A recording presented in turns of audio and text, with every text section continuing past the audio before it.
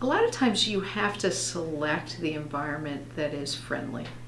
And it may be based on gender friendly, but it also may be based on personality or skill set. Mm. But a lot of women, I think, as much as we we talked about kind of the emotional connection when it comes to themselves and figuring out who they want to be around, Yes.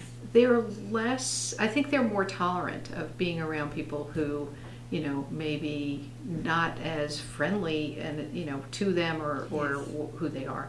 That's a Um, good point. Yeah. Really so good point. it's okay to select